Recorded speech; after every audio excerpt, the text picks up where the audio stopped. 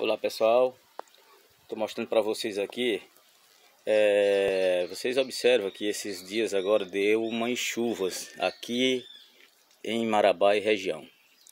Observem, não sei se é o caso de vocês aí mas as plantas que ficam expostas ao sem uma proteção quando vem a, a chuva, principalmente essas primeiras chuvas nessa época que o, o, o ar a atmosfera está muito poluída, é comum acontecer essa amarelidão e essas manchas nas folhas. É, isso, pessoal, é devido à acidez da água da chuva.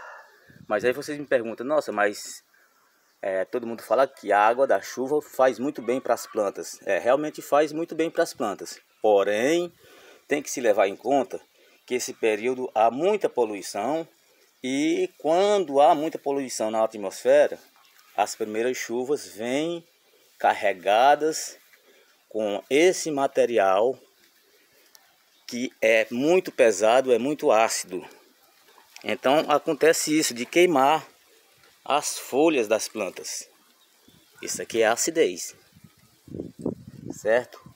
Depois de algum período de chuvas em sequência, aí sim as chuvas vão fazer muito bem para a rosa do deserto, desde que elas estejam com um substrato extremamente drenado.